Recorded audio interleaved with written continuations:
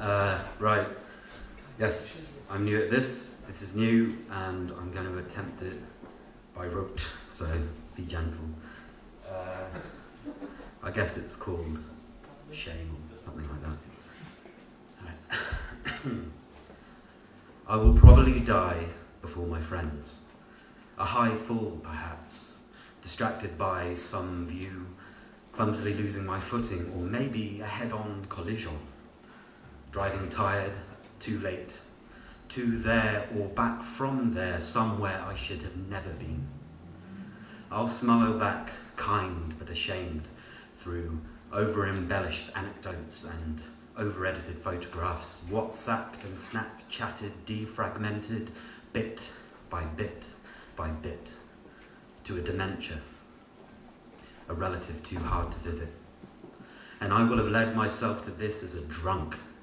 Each ill decision, each drink too many, each tinder stained tear trickling backward down my tongue, meeting, marrying, swimming in my gut to bend me double in awful reflux. Retching up, gipping, spitting truth and excuse. And there will have been no, sorry, and there's no deep breathing. No thinking of something else, just heaving, kneeling exhausted and looking down. A mess that everyone can see. No one has love for a drunk. An arm's length pity or an arm's length understanding, hesitating hands too tentative to comfort.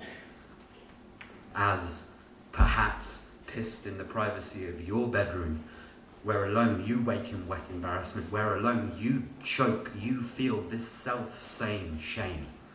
Broken glass looking back at you with every ugliness you've ever committed. Well, I can't take this stare in the wing mirror driving me into oncoming traffic, in this iced windlip breaking away beneath my feet, in this cold, hard chrome on which I now lay, calm at last.